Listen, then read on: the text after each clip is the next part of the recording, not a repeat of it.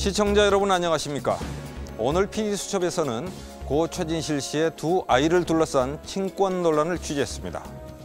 또 한국에 시집 온 지 1년 만에 남편이 사망하자 시댁에서 아이를 뺏고 강제 출국시키려고 했다는 한 캄보디아 여성의 사연도 취재했습니다. 오늘부터 새롭게 문지혜 아나운서가 저와 함께 PD수첩을 진행하게 됐습니다. 문지혜 아나운서. 안녕하십니까 문지혜입니다. 정확하고 진실한 시청자 여러분의 눈과 귀가 되기 위해서 최선을 다하겠습니다. 고 최진실 씨의 사망 후 유가족과 전 남편인 조성민 씨 사이의 친권 논란이 문제가 되고 있습니다. 고인의 아이를 두고 벌어지고 있는 친권 논란. 유족 측인 최진실 씨의 어머니를 만나서 이야기를 들어봤습니다. 그리고 이 문제와 관련해서 한 번도 방송에 얼굴을 드러낸 적이 없었던 조성민 씨를 저희 PD수첩이 단독 인터뷰했습니다. 방송 최초로 공개합니다. 한 사람의 국민 배우를 보낸 지난 10월. 최진실 씨의 갑작스런 죽음은 많은 사람들을 충격과 슬픔에 빠지게 했습니다. 그리고 고인의 장례에 끝까지 참석했던 전 남편 조성민 씨를 우리는 기억합니다. 장례 후 그의 발언이 또 한 번 세상의 주목을 받고 있습니다. 고인이 세상에 남긴 두 아이, 조성민 씨는 아버지로서의 권리를 주장하기 시작합니다. 아이들이 지금까지 태어나서 지금까지 올 때까지 굉장히 뭐 상처도 많이 줬고 그 다음에 아버지로서 특별히 해준 게 없었기 때문에 예? 그냥 바라볼 수밖에 바라보는 것밖에 해준 게 없기 때문에 지금 큰 버팀목이었던 엄마가 없는 지금부터라도 제가 버팀목이 돼주고 싶고 예? 그런 그 아버지로서의 의무를 다 해주고 싶은 거지 의무와 사랑을 다 주고 싶은 거지 무슨 이혼하고 나서 애들을 와서 한 번도 본 적도 없고 무슨 애들 생일이나 학교를 들어가도 한 번도 와본 적도 없고 차관에 가 아빠 보고 싶다고 한 번 만나자고 전화를 했더니 그것도 피하고 안 만나주고 전화 바꾸고 하던 사람이 어떻게 갑자기 일어나. 고 최진실. 그녀가 남긴 아이들과 유산을 둘러싼 전 남편과 유족의 팽팽한 대립, 친권 논란. PD수첩이 취재했습니다.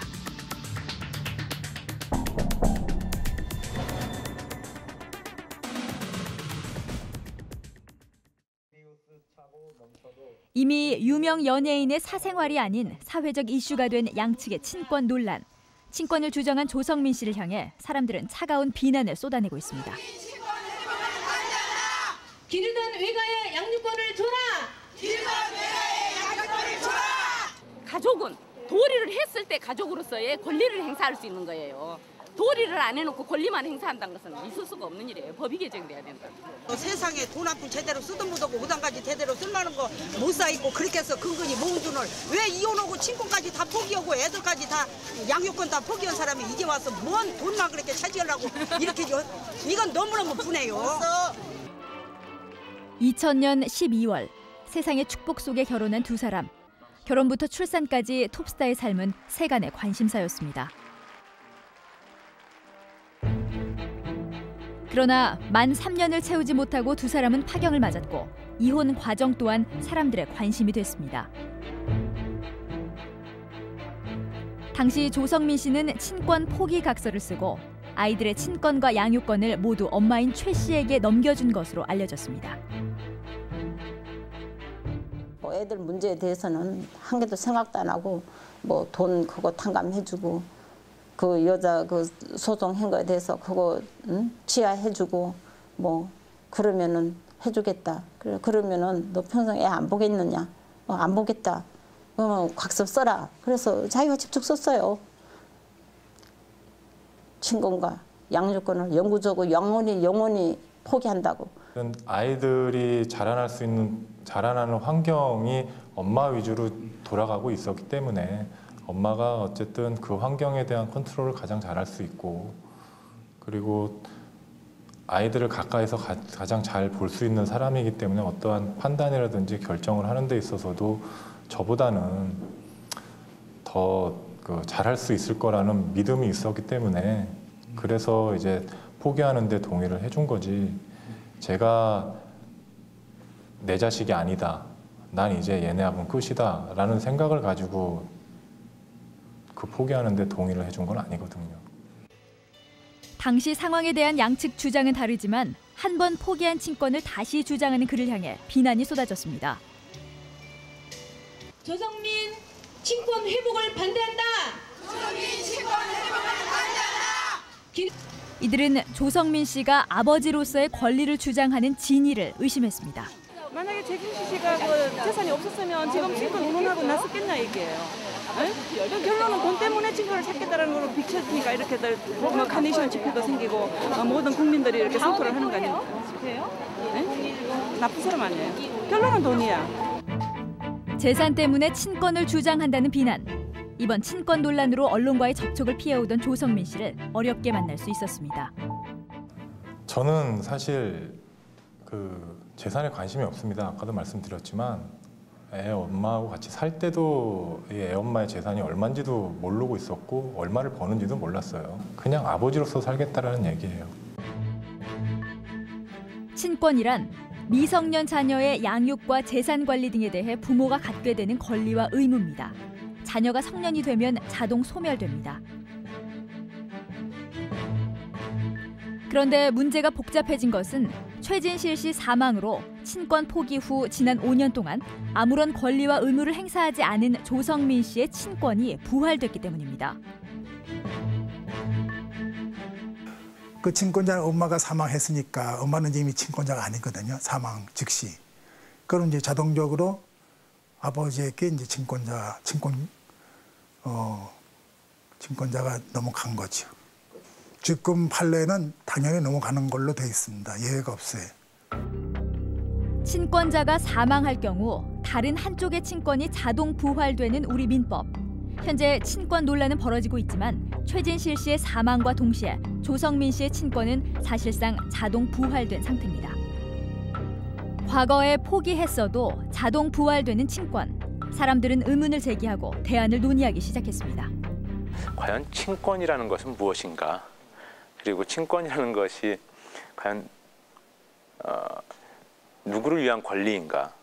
어, 그동안 지난 5년 동안 양육 자체를 포기했던 사람이 나타나서 권리를 주장한다는 것이 과연 이게 합리적인 것인가라는 기초 상식적인 질문에서 출발한 거였습니다.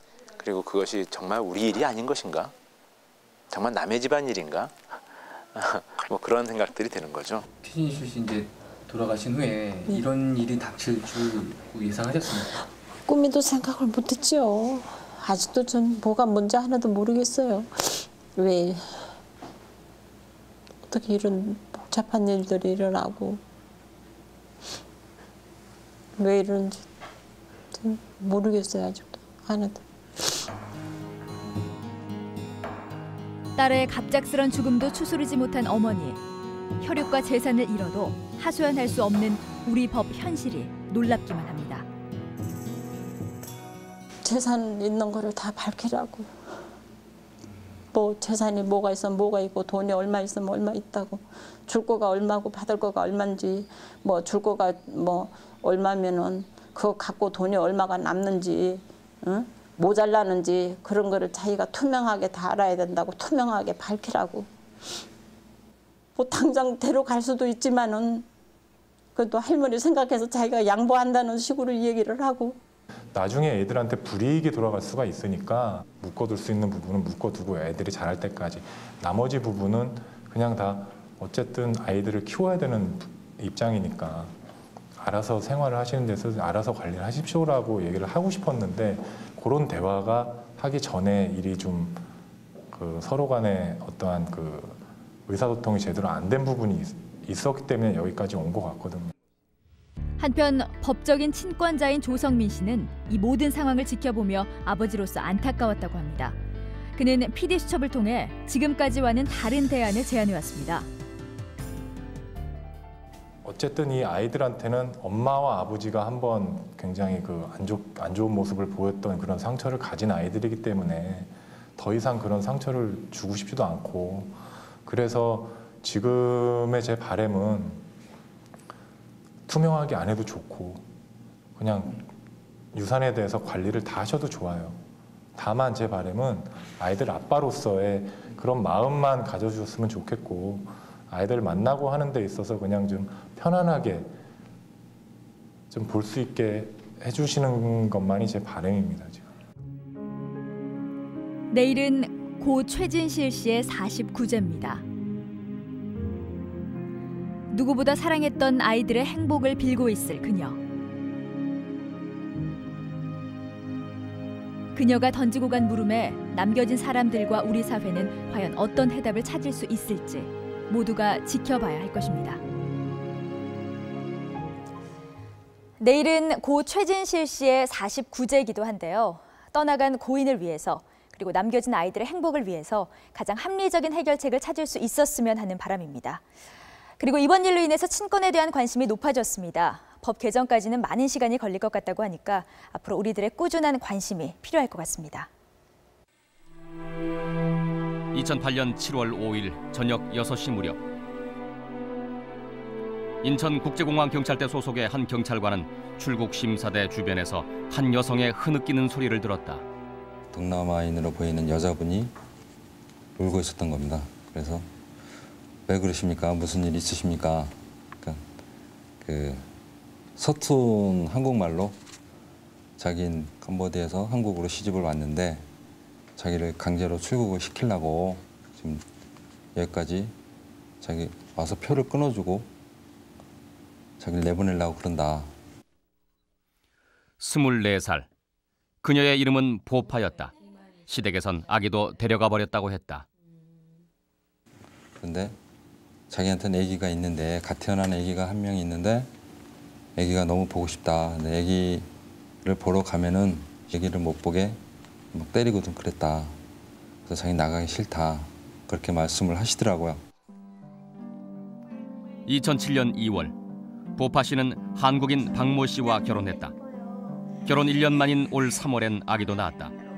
그런데 두 달 뒤에 남편이 교통사고로 사망했다. 남편은 농협 직원이었다. 여러 건의 보험금과 퇴직금 등이 유산으로 남았다. 경찰 추정 유산액은 대략 10억 원 가량. 보파 씨는 남편이 사망하자 시댁에서 캄보디아로 돌아가라고 했고 아기도 빼앗아 갔다고 했다.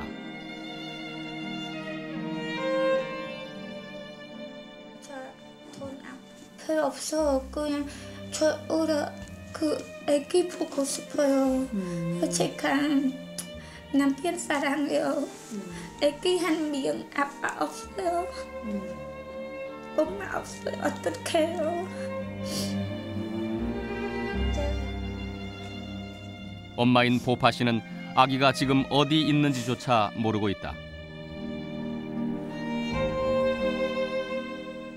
네.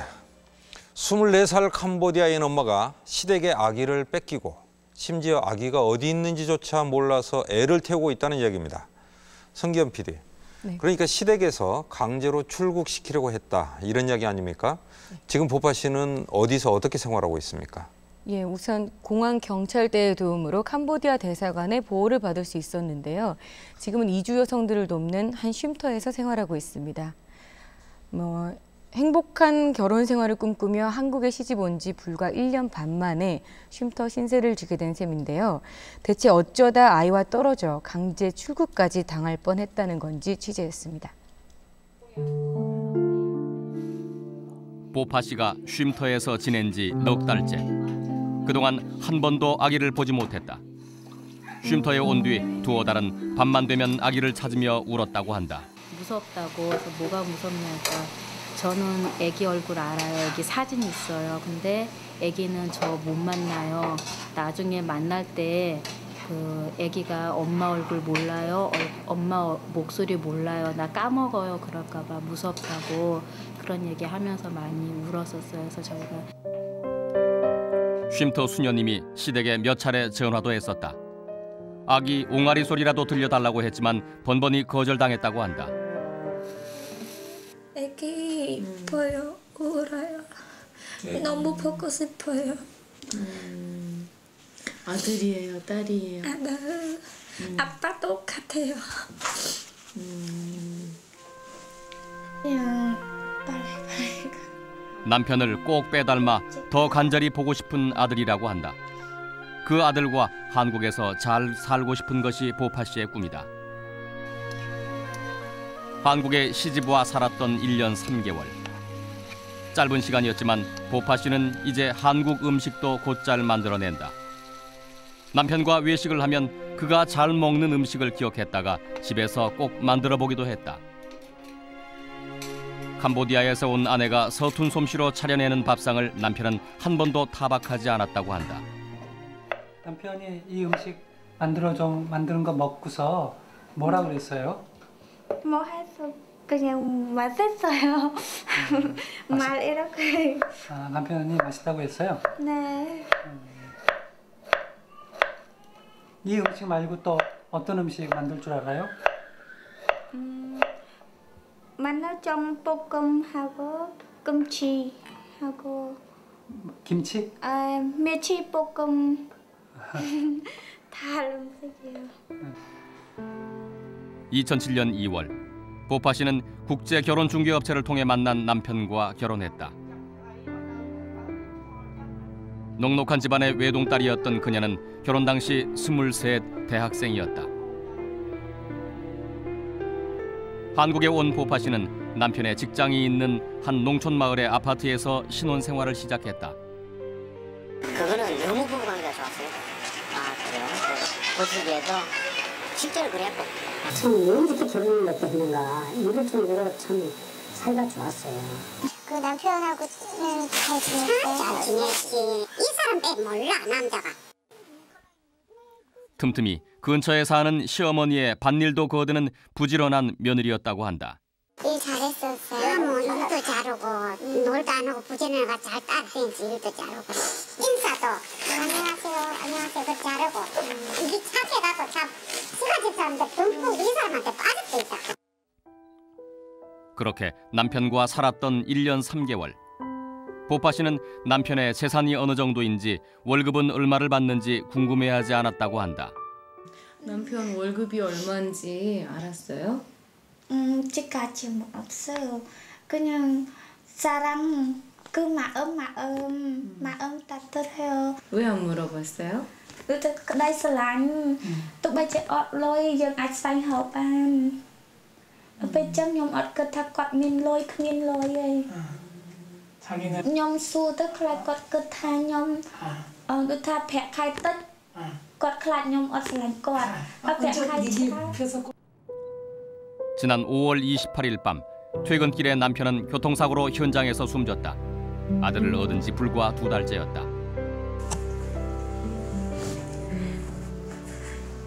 남편을 보낸 보파 씨는 남편과 꼭 닮은 갓난 아들을 여보라고 불렀다. 그 아이와 떨어질 줄은 상상도 못했다고 한다.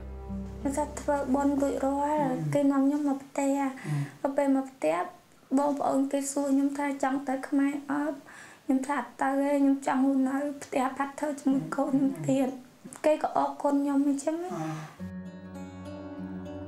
보파 씨가 캄보디아어로 작성한 진술서. 시댁 식구들은 남편의 통장을 본 뒤 태도가 변했다고 한다. 저에게서 아이를 빼앗아 안고는 이 아이는 부자가 될 것이라고 말했습니다. 아이는 제 아이인데 어째서 제 아이를 빼앗고 저를 캄보디아로 돌려보내는지 저는 왜 가야 하는지 ប៉ុន្តែអេលោកគាត់ចង់ឆែ ពេលគេវាយខ្ញុំរួចគេទិញសវត្ថយន្តហោះឲ្យខ្ញុំទៅវិញ 남편과 살았던 아파트도 장례 직후 시댁에서 이내 정리했다고 한다.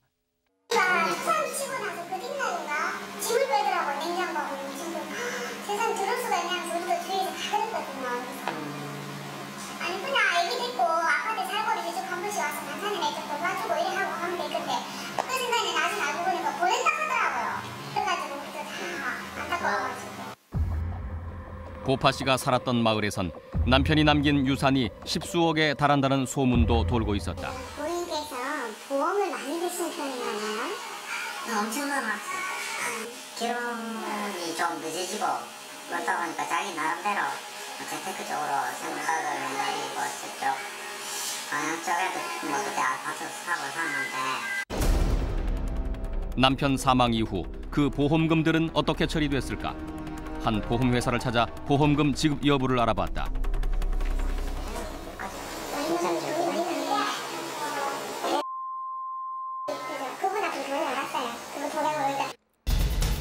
이미 보파 씨 명의의 통장으로 보험금이 입금됐다는 것이다.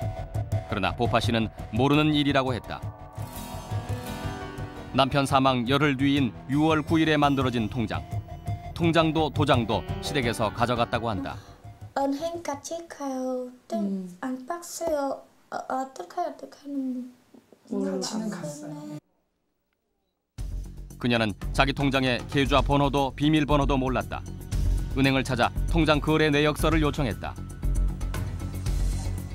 보파 씨의 통장에는 남편의 유산이 얼마나 입금돼 있을까? 지난 6개월간의 거래 명세표다. 미래에셋, 메리츠 화재, 대한생명 등에서 입금된 보험금으로 추정되는 돈을 포함해 그동안 보파 씨의 통장에 입금된 돈은 모두 4억 9천 3백여만 원이었다.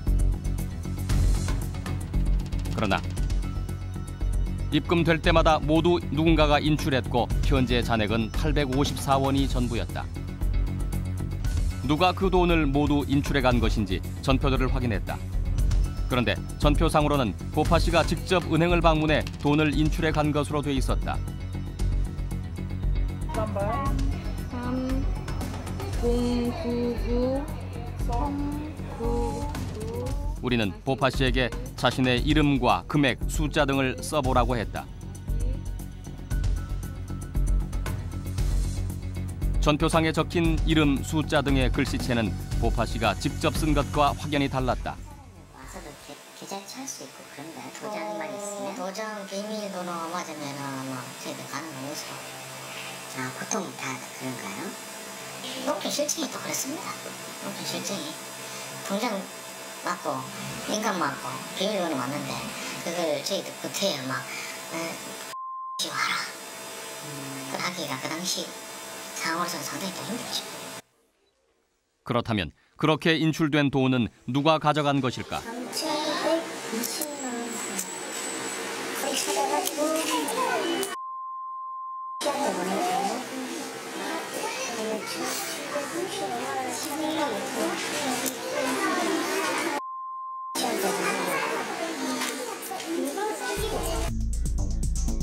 6월 13일부터 출금되기 시작한 남편의 유산 가운데 일부는 보파 씨의 아들 명의의 통장으로 이체됐다. 그리고 7월 27일 보파 씨 통장에서 빠져나간 8천여만 원은 그 직후 시어머니의 통장으로 입금됐다. 7월 23일 보파 씨의 통장에서 인출된 3천여만 원은 남편 누나의 통장에 입금됐고 같은 날 1,700여만 원도 같은 방법으로 누나 통장에 입금됐다. 7월 중순 보파 씨가 캄보디아 대사관의 보호를 받고 있을 때 대사관 측은 통장을 재개설하라고 권했다고 한다. ទៅធនាគារឲ្យខ្ញុំធ្វើឡើងវិញតែទៅធ្វើអឺអ្នកនេះណាគេសួរលេខ account ខ្ញុំអត់ដឹងអត់ដឹងលេខ account ទៅទៅចង់បងស្រីទី2បងស្រីទី2ថាអត់ឲ្យធ្វើហើយ 그날 보파 씨의 전화를 받은 시댁 식구는 한 농협에 문의를 했다고 한다.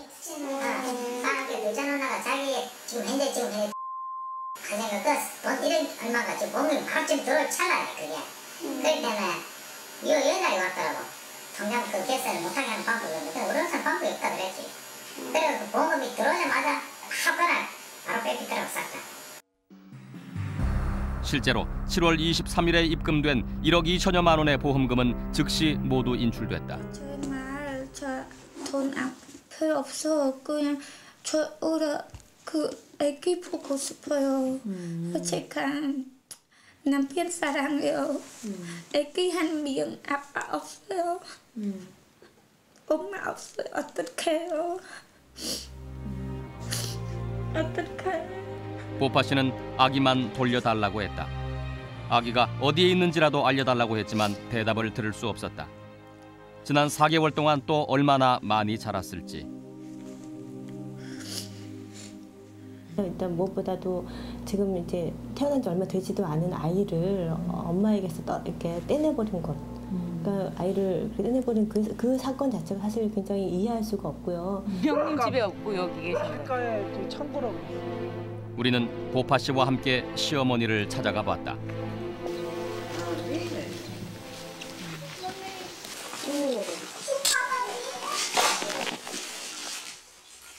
아이의 행방을 물으며 무릎을 꿇은 보파 씨.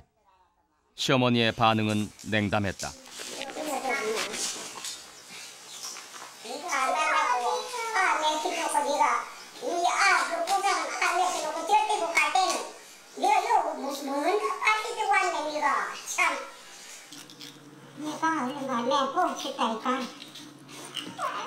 가라 가라 가라. 어 뒤로. 어디야 어머니. 어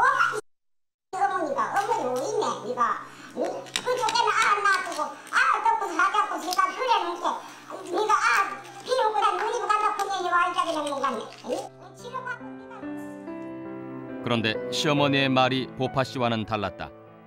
며느리가 먼저 아기를 팽개치고 떠난다고 했다며 역정을 냈다.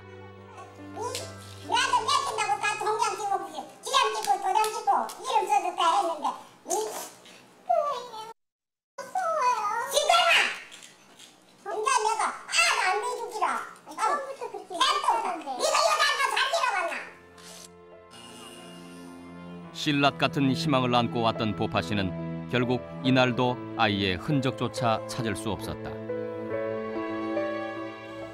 네. 보파 씨의 통장으로 들어온 남편의 유산이 4억 9천여만 원인데 보파 씨가 받은 돈은 없습니까? 어, 그렇진 않습니다. 시댁 측에선 7월 1일 보파 씨의 친정으로 4만 9천 불, 우리, 돈, 우리 돈으로는 약 5천여만 원을 송금했습니다. 현재 남편이 남긴 유산의 전체 규모는 정확히 알 수 없습니다. 그러나 일단 보파 씨의 통장으로 입금된 금액이 4억 9천여만 원인 점을 감안하면 약 10분의 1 규모인 셈입니다. 네. 그렇다면 배우자가 사망했을 때 재산 상속이 어떻게 이루어지는지 알아봅니다. 문제 아나운서. 네. 상속 비율은 법률로 정해져 있고 보파 씨와 같은 외국인 아내들도 똑같은 법 적용을 받게 됩니다.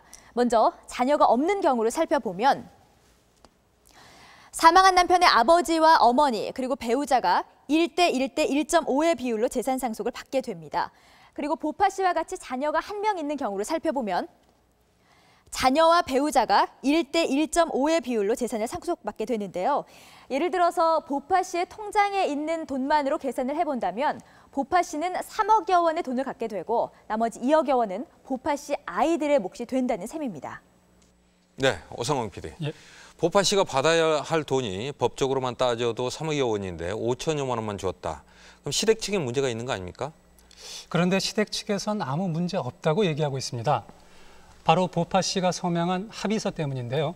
보파 씨는 이 합의서에서 친권, 양육권, 재산 관리권을 포기하고 남편의 사망 보험금은 보파 씨와 아기가 2분의 1씩 나눠 가지며 시어머니에게 아기 양육비를 지급하고 이후 발견되는 남편의 상속 재산은 포기한다는 네 가지 조항에 합의했습니다. 이 합의서의 기초에 아기 양육비 또 고인의 빚 등을 제외하고 나면 보파 씨 몫은 약 5천만 원이 적절하다는 얘기입니다. 네.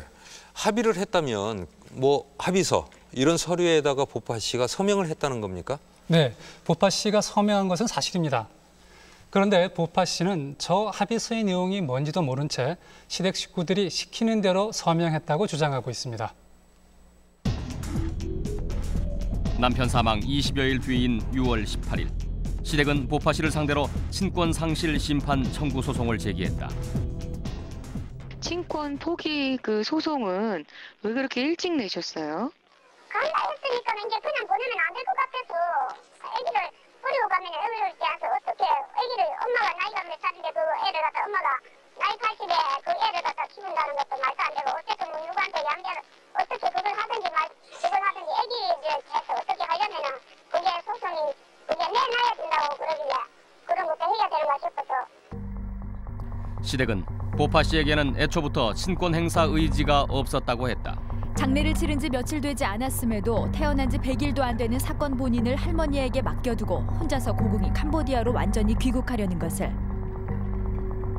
집안 시댁 식구들과 이웃 주민들이 남편의 49제가 끝날 때까지만이라도 기다렸다가 귀국을 하라고 강건하여 지금은 49제가 되는 날을 기다리는 처지다. 근데 1년만 치워주고 가라 했어요. 오이 먹었었어요. 1년만 치워주고 가라. 장모님 붙들고 사수 사등에 섰어요. 안 듣고 간다고 그랬어요. 시댁은 보파 씨가 직접 서명하고 지장을 찍은 각서가 증거라고 했다.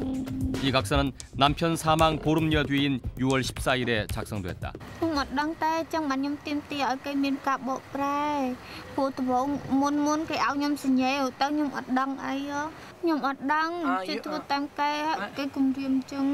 ខ្ញុំអត់ដឹងតែចឹងបានខ្ញុំទៀមទាឲ្យគេមានការបកប្រែព្រោះដំបូងមុនមុនគេឲ្យខ្ញុំសញ្ញេទៅខ្ញុំអត់ដឹងអីហ៎ខ្ញុំអត់ដឹងជិះធ្វើតាមគេហើយគេគំរាមចឹងបើខ្ញុំដឹងថាមានថ្ងៃមានការលំបាកចឹងគឺខ្ញុំធ្វើដែរ 각서의 내용은 캄보디아로 출국하기 위해 친권, 재산 관리권, 양육권과 상속재산 일부도 포기한다는 것이었다. 보파 씨는 현재 쉼터에서 다시 한글을 배우는 중이다. 보다 전하하다 결혼 직후 지역 한글 학교엔 두어 달밖에 다니지 못했다고 했다. 춥다 아이가 한국말을 해야 되잖아요. 자기가 한국말을 못하면은 아이도 한국말을 잘 못한다라는 것을 잘 알고 있고요. 그래서 한국말을 굉장히 열심히 공부하는 편이에요. 보파 씨는 지난 6월에 작성된 각서의 내용을 얼마나 이해하고 있을까? 한글 자원봉사 선생님이 각서의 내용을 설명해 주었다. 여기 보면 자, 선생님 먼저 읽어볼게요. 에 대한 친권, 양육권, 재산 관리권을 포기한다. 지금 뭔지 모르겠죠? 무슨 또잘 몰라요 어, 자 선생님 설명해 줄게요. 이건 뭐냐면 씨가 애기 이름이에요. 자, 야, 나 엄마 아니에요. 왜 엄마 어, 안 돼요 그리고 나 애기 안 키워요. 왜안 어, 그리고 재산 관리권, 돈 나 안 해도 돼요. 그런데 6월 14일에 작성된 각서에 이어서 6월 30일 비슷한 내용의 합의서도 작성됐다. 시댁 식구들과 보파 씨는 합의서에 공증까지 받았다. 그들이 처음 공증사무소에 들고 온 건 한글 합의서. 공증사무소 측에서는 영어 합의서가 필요하다고 했다. 한글 잘 한다고 가족들을 얘기를 하더라고. 들어도 안 된다고 얘기를 했었거든. 그리고 며칠 뒤 보파 씨는 친권, 재산권, 양육권 등을 포기한다는 영문 합의서에 서명하고 공증까지 받았다. 나는 그분이 영어를 알고 있는 줄 알았어. 충분히 인지하고 있을 거라 믿었죠. 내용을 좀 설명을 해주셨었나요? 고파 씨는 영문 합의서 내용을 제대로 이해나 하고 사인했던 것일까? 그 안면 번열 때. 안면 번열 때. 어, 설명은 안 했다. 나 큰홍란. 어? 오케이. 네게 그만. 나 큰홍란. 어? 바다이 봉사이 띠무이 박란. 어. 봉사이 띠무이, 봉사이 봉 띠피. 어. hai nhóm à? cô nhóm phong à. hai cái áo nhóm mơ áo nhóm mơ nhóm nhóm đồng mà tiếp bên nó chết ừ. thì trong dung ừ. ít à, à.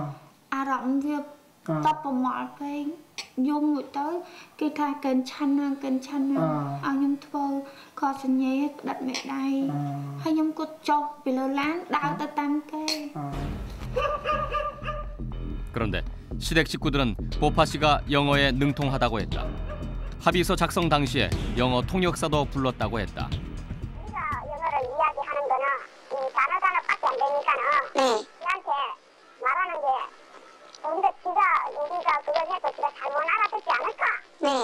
이런 걱정이 있어가지고 어, 같이 이야기 좀 해보라고 붙이던지 어, 그 영어 통역해준 사람은 누구였어요?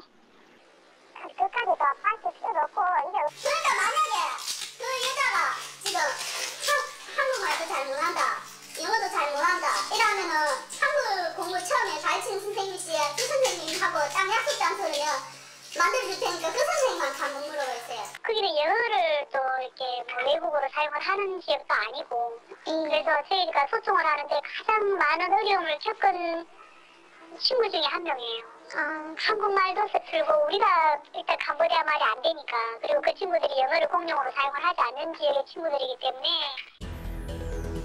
한 시민단체의 도움을 받아 보파 씨는 지난 8월 경찰에 시댁을 고소했었다. 사건을 수사했던 경찰은 보파 씨의 한글과 영어 실력을 이렇게 평가했다. 한국 수준 같은 경우에는 기본 이제 말인사 정도, 말인사 안녕하세요 정도 뭐 이 정도 제가 볼 때는 그 정도 되는 것 같고 영어 부분 대해서는 확실히 모르겠지만 그 캄보디아 그 대사관 그 직원들 통해 보면 아주 기초적인 수준이더라 이 정도로 이야기 되고 있습니다. 최근 보파 씨는 시민단체의 도움으로 시댁을 상대로 유아 인도 심판 청구 소송을 제기했다. 보파 씨가 친권, 양육권 등을 포기한다는 합의서와 각서에 자의로 서명했느냐가 재판의 쟁점이 될 전망이다. 내용을 모르니까 그 좀 통역을 좀 붙여달라 아니면 좀 토- 번역을 해달라 이런 요구를 했는데 이제 그 요구도 받아들이지 않았던 거고요. 그러니까는 그런 상황에서 저희로서는 내용을 충분히 파악하지 못하고 서명을 했을 거다. 사실 한국 사람들도 이게 친권, 양육권, 대상관리권 이게 정확히 어떤 의미인지 잘 모르잖아요. 그러니까 사실은 그 용어 자체도 어려운데 이거를 어- 얼마나 이해했을까. 최근 용인 이주 여성 쉼터에선 보파 씨와 같은 어려움에 처한 한 베트남 여성을 긴급 지원한 적이 있었다. 2년 전에 한국에 시집 온 팜 씨. 올해 7월 남편이 사망한 열흘 뒤에 아이가 태어났는데 시댁에서는 천만 원을 주면서 아이는 두고 베트남으로 돌아가라고 했다고 한다. 일단은 아이가 너무 보고 싶은 상태였어요. 한 달이 채 되지 않는 아이를 떼놓고 왔기 때문에 한 달이 안 됐기 때문에 김 소장은 한국말이 서툰 팜 씨를 대신해 시댁과 합의점을 찾으려 했다. 아이는 어떻게 됐냐 물어보니까 뜬금없이 뭐 양육을 보낼 거다라고 하시는 거예요. 근데 아 이거 보통 심각한 문제가 아니라고 생각을 하고 일단은 양육 입양? 예, 입양을 보내겠다고 하신 거예요. 그래서 일단 전화상으로 입양은 절대 되지 않고 입양을 보내실 때는 법적인 모든 책임을 져야 된다라고 약간의 쉼터의 도움으로 팜 씨는 시댁과 합의할 수 있었다. 남편이 팜 씨와 아이들에게 남긴 유산의 절반을 시댁에 준다는 조건으로 아이를 되찾아올 수 있었다. 아, 이 사람이 베트남 사람이고 한국 말도 잘 못하고 하니까 자기들이 이 친구를 그냥 베트남을 내보내면 모든 재산을 자기들이 가질 수 있다라고 생각을 하신 거죠. 단순하게 생각을 하신 거죠. 네, 그리고 아이 양육권도 아이도 데리고 있고 분명히 아이도 그쪽에서 키울 여력이 안 되세요. 어머니도 아프시고 형님도 안 좋으시고 그러니까 그 입양이란 부분도 아마 생각을 하셨다고 이건 제 추측이지만 분명히 그렇게 하셨을 것 같아요. 한국에 시집와 아이까지 낳았어도 시댁 식구들은 팜 씨를 완전한 가족으로 받아들이지 않았다. 팜 씨는 현재 아기를 데리고 베트남 친정에 머물고 있다. 이세 탄생 아니면 우리 시, 우리 어머니 아버지 밥 해주는 여자 데려왔다. 우리 동생 우리 오빠 어, 밥 해주고 아프면 뒷수발 해주는 그런 여자가 한 명 들어왔다. 이렇게 생각하시는 경우들이 많이 있으세요. 그렇기 때문에 배우자한테 무슨 일이 생기면 그냥 바로 나가라고 쉽게 버려버리시는 경우가 되는 거죠. 남편이 사망한 후 곤란에 빠진 이주 여성에 대한 긴급 지원 필요성이 대두되고 있다. 유산이 거액이면 상속을 둘러싸고 분쟁이 생기지만은 유산이 없거나 아이마저 없을 때는 그저 며느리와 인연만이라도 끊게 해달라고 하는 시댁도 있다고 했다. 이주여성 지원센터에서는 시댁의 처분만 따르지 말고 반드시 센터 등의 도움을 요청해야 한다고 강조한다. 시집와 아이를 낳고 남편마저 죽은 지난 2년 버파 씨는 한 번도 친정을 가지 못했다. 외동딸이 낳은 손자를 부모님은 아직 사진으로조차 보지 못했다.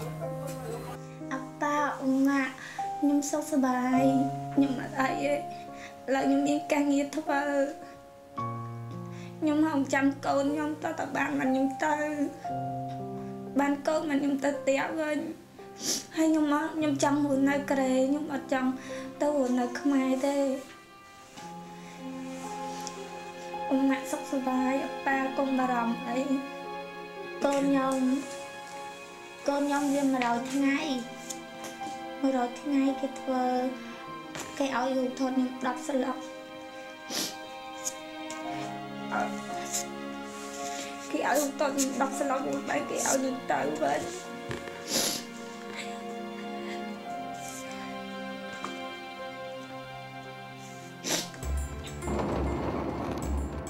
보파 씨 아이의 백일 사진을 갖고 캄보디아 그녀의 집으로 갔다. 어머니는 물론 친척들까지 모두 모여 있었다. 캄보디아에선 그 많은 가족들이 보파 씨 때문에 애만 끓이고 있었다.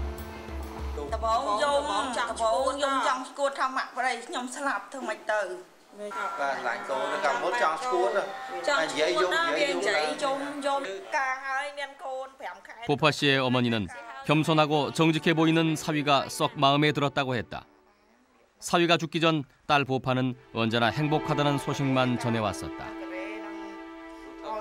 អត់ចង់ទេថាចង់ឈប់យកប្តីទៀតហើយ ឲ្យតែបានកូន ប្រាប់ខ្ញុំថាឈប់យកប្តីទៀតហើយបើបានកូនមកឈប់យកប្តីរហូតទៀតហើយអឺប្រាប់ចឹងថាម៉ាក់អើយខ្ញុំឈប់យកប្តីទៀតហើយបានកូននោះមកចាតែអត់ល្អដូចប្តីហ្នឹងតាពីហើយ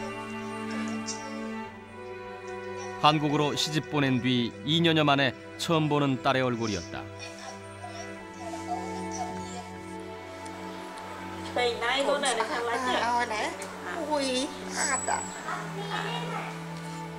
ឆ្វេងណៃកូននៅខាងឡាច់ឲ្យណែអុយស្អាតតាស្អាតតាអូដូចពុកវាឆឹកដូចប៉ាខំស្អាត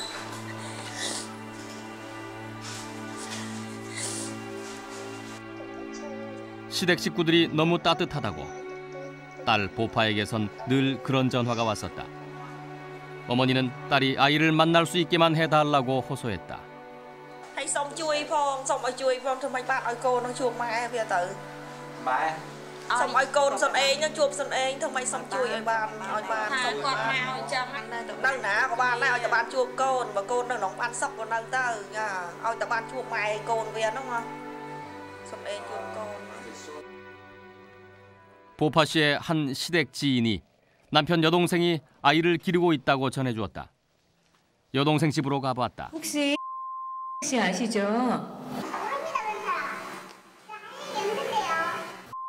혹시 애기 어디 있는지 혹시 아시는지 여쭤보려고 왔어요. 보파 씨는 아이를 되찾아도 캄보디아로 돌아갈 생각은 없다고 했다. 한국에서 태어난 아이를 이곳에서 한국 사람으로 기르고 싶다고 했다.